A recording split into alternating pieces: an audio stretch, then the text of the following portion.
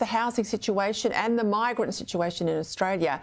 Over the next two years, the government, the federal government, plans to bring in three quarters of a million new people to this country, even though the latest polling from the Australian Population Research Institute has found that 69% of voters, that's two thirds or three quarters of Australians, believe we don't need more people. At the same time, of course, rental listings are plummeting. The latest figures showing Melbourne's tenants have almost a quarter fewer homes to choose from this winter than they did a year ago. Now, of course, the Andrews government today is talking about stripping away first home buyers grants to make it even harder for young people to get into the market. Joining me now to discuss this and more, media writer for The Australian, Sophie Elsworth, and the head of the Institute of Public Affairs, Scott Hargreaves. Well, welcome to you both. I'm going to start with you if I can, Sophie. You previously, before you're writing about media, were a financial writer.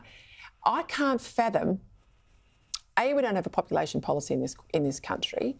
But why on earth are we bringing in a record number of migrants just at the same time we've got this extraordinary pressure on housing for everyone who's here already? Well, Peta, as you pointed out in your column today in The Australian, there is a problem with all these migrants coming in. Uh, but people are worried about saying that and being classified as being racist for saying that, firstly.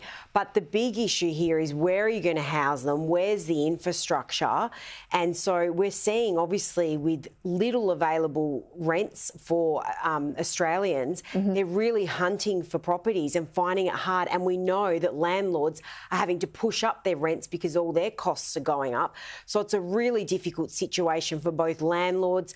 Also, many of them are having to let go of their properties and sell them because they can't cope with Correct. the rising interest rates. So it's a very dire situation for so many different moving parts here. Sophie, spot on because we've got 40% of the houses that went to auction recently in Sydney, 40% were investors selling out, 36% in Victoria.